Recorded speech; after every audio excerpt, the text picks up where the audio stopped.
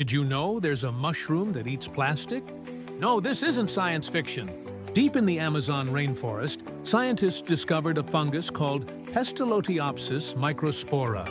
This little guy doesn't just grow on trees. Its favorite meal is polyurethane, one of the most common plastics we can't seem to get rid of. What's even crazier? It can do this in an environment with zero oxygen. Imagine a future where landfills are just giant mushroom buffets, munching away our plastic problem. This amazing fungus breaks down plastic in just a few weeks, something that would normally take hundreds of years. It literally digests the plastic and turns it into organic matter. So next time you see a mushroom, remember its incredible cousin that might just help save our planet. One plastic bottle at a time. What other weird solutions have you heard of? Let me know in the comments.